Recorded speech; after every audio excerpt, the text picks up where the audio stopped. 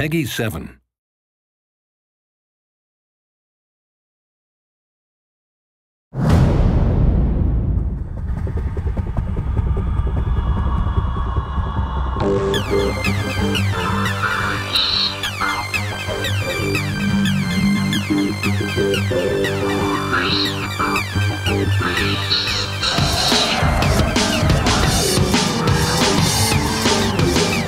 We really took the opportunity to uh, push the drifting much further than we would have in, in any of our previous titles.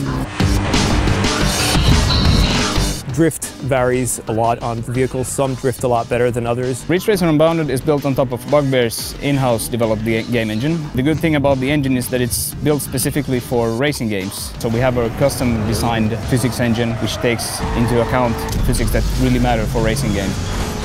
This is not a simulator by any means. It's an arcade experience and it's easy to pick up.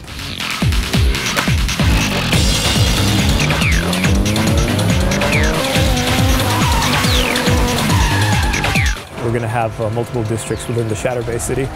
And those districts are going to be stuff like uh, the downtown, industrial, docks areas. The gameplay is going to be varied uh, between those as well. So when the player's uh, making tracks themselves, they can actually place the different types of blocks and think about what kind of gameplay they want. There are lots of like secrets and opportunities that you need to be able to exploit.